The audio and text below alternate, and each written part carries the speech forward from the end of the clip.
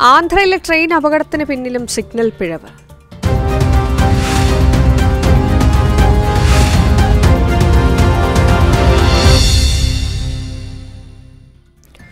ആന്ധ്രാപ്രദേശിലെ വിഴിനഗരത്ത് ട്രെയിനുകൾ കൂട്ടിയിടിച്ചുണ്ടായ ദുരന്തത്തിൽ മരണം പതിനാലായിരിക്കുന്നു. പാസഞ്ചർ ട്രെയിനിന്റെ ഗാർഡും ഇതിലേക്ക് ഇടിച്ചു കയറിയ പാലസ എക്സ്പ്രസിന്റെ ലോക്കോ പൈലറ്റ് മടക്കം കൊല്ലപ്പെട്ടിരിക്കുകയാണ്. ഇരുപത്തിയഞ്ച് പേർ ഗുരുതരമായി പരിക്കേറ്റ് ആശുപത്രിയിൽ ചികിത്സയിലുമാണ്. സിഗ്നലിംഗ് പിഴവാണ് അപകടത്തിന് കാരണമെന്ന് റെയിൽവേ സ്ഥിരീകരിക്കുന്നുണ്ട്. ഓവർഹെഡ് കേബിൾ പൊട്ടിയത് കാരണം നിർത്തിയിട്ടിരുന്ന പാസഞ്ചർ ട്രെയിൻ ഉള്ള അതേ ട്രാക്കിലേക്ക് പാലസ എക്സ്പ്രസ് വന്ന് ഇടിച്ചു കയറുകയായിരുന്നു. മുന്നിൽ റെഡ് സിഗ്നൽ ഉണ്ടായിരുന്നത് ലോക്കോ പൈലറ്റ് ശ്രദ്ധിച്ചില്ല എന്നാണ് റെയിൽവേ ഇക്കാര്യത്തിൽ പ്രാഥമികമായി നിഗമനമായി പുറത്തേക്ക് വരുന്നത്. ഈ ഒഡീഷയിലെ ബാലസോറിൽ വൻ ദുരന്തത്തിനിടയാക്കിയ അപകടം.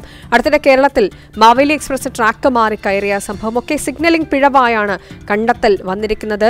ഇതിൽ മനുഷ്യന്റെ ഭാഗത്തു നിന്നുണ്ടാകുന്ന അപകടങ്ങളുമുണ്ട് അപകടങ്ങളും ഇത് അപകടങ്ങൾ ഒഴിവായതുമായ കൂടുതൽ സംഭവങ്ങളും ഒക്കെ നടക്കുന്നുണ്ട്. അപ്പോൾ അപകടങ്ങൾ ഇല്ലാതാക്കുന്ന സെൻട്രലൈസ്ഡ് സിഗ്നലിംഗ് സംവിധാനത്തെക്കുറിച്ചുള്ള അവകാശവാദങ്ങളും ഈ സംവിധാനങ്ങളുടെ കാര്യക്ഷമതയും ഒക്കെ വലിയ രീതിയിൽ ചോദ്യം ചെയ്യപ്പെടുകയാണോ? ഈ സംഭവങ്ങളുടെ ആവർത്തിക്കുന്ന അപകടങ്ങൾ എന്താണ് വ്യക്തമാക്കുന്നത് എന്ന് പരിശോധിക്കാം. സാവിത്രി ചേരുന്നു.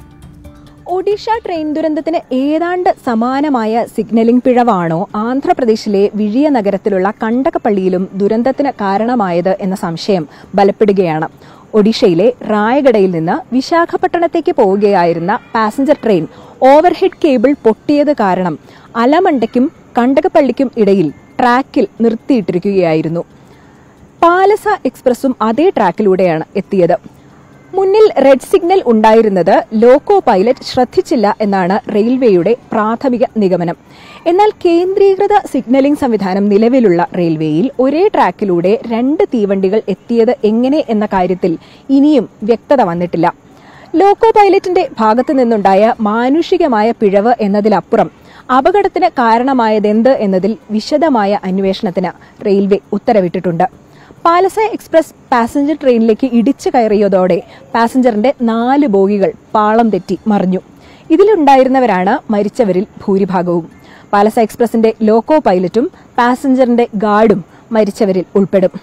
മരിച്ച യാത്രക്കാർ എല്ലാവരും ശ്രീകാകുളം വിജയനഗരം സ്വദേശികളാണ്.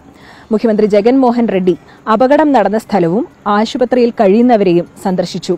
അപകടത്തിൽ മരിച്ചവരുടെ കുടുംബങ്ങൾക്ക് പത്ത് ലക്ഷം രൂപയും പരിക്കേറ്റവരുടെ കുടുംബങ്ങൾക്ക് രണ്ടര ലക്ഷവും കേന്ദ്ര സർക്കാർ ധനസഹായം പ്രഖ്യാപിച്ചിട്ടുണ്ട്.